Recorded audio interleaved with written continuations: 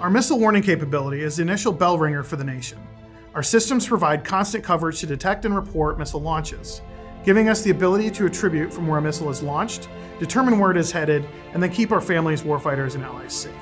The advancing and very real threat requires that we expand our focus beyond integrating and fielding a single space system iteratively. While staying far ahead of the threat, we must deliver more resilient, multi-layer systems of systems, bring together best-of-breed operational space technology from across agencies, and field affordable capability.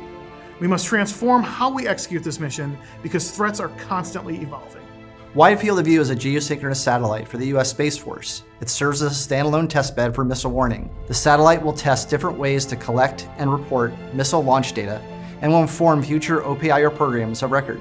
The program really is a team effort with the Space Force, NASA Ames, and our industry partners. Our two industry partners, Millennium Space Systems and L3 Harris, adopt us as full team members with desks in their facilities and during critical phases like the environmental tests we sat together. We leverage the expertise of the Naval Research Laboratory Blossom Point tracking facility to achieve 24-7 ops with a minimum operator footprint. That's using NRL's automated ground resource management and spacecraft command and control. We've also partnered with NASA Ames for their acquisition and subject matter expertise.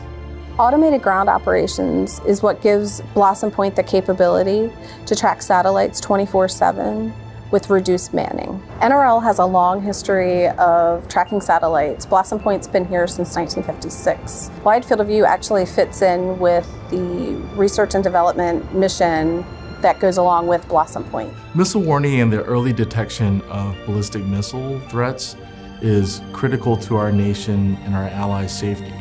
The Wide Field of View system will enhance our nation's current OPIR architecture and capabilities and rapidly incorporate new technologies into future systems.